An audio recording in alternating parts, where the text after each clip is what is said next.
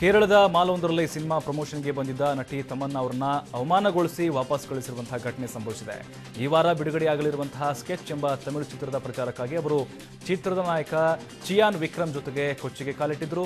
ವಿಕ್ರಮ್ ಮತ್ತು ತಮನ್ನಾಗೆ ಕೇರಳದಲ್ಲಿ ಹೆಚ್ಚು ಫ್ಯಾನ್ಸ್ ಇದ್ದ ಕಾರಣ ಅವರ ಅಂಧಾಭಿಮಾನವೇ ಪ್ರಚಾರ ಕಾರ್ಯಕ್ಕೆ ತಡೆಯಾಯಿತು. ಮಾಲ್ನಲ್ಲಿ ಕೂಗಾಟದ ನಡುವೆ ಅವರಿಬ್ಬರು ಒಂದಕ್ಷರ ಮಾತನಾಡೋದಕ್ಕೂ ಕಷ್ಟ ಆಯಿತು. ಈ ಸಂದರ್ಭದಲ್ಲಿ ತಮ್ಮನ್ನ ವಿರುದ್ಧ ಅಶ್ಲೀಲ ಕಮೆಂಟ್ಗಳು ಕೇಳಿ ಬಂದಿತ್ತು. ಕೋಪಗೊಂಡ ಅವರು ಲಿಫ್ಟ್ನೊಳಗೆ ಸೇರಬೇಕಾದ್ರೆ ವಿಪರೀತ ನೂಕು ನುಗ್ಗಲು 絶対すべかいと